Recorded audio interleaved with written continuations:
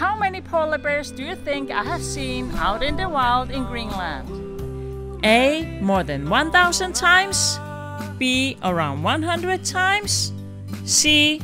I have never seen any living polar bears out in the wild in Greenland. Remember that I'm born and raised in Greenland.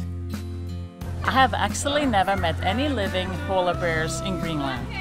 Because polar bears are quite rare where I'm from in southwest Greenland. So I have only seen living polar bears in zoos outside of Greenland.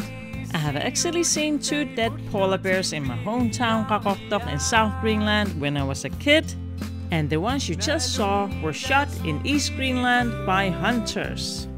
And today's video recordings are from Copenhagen Zoo.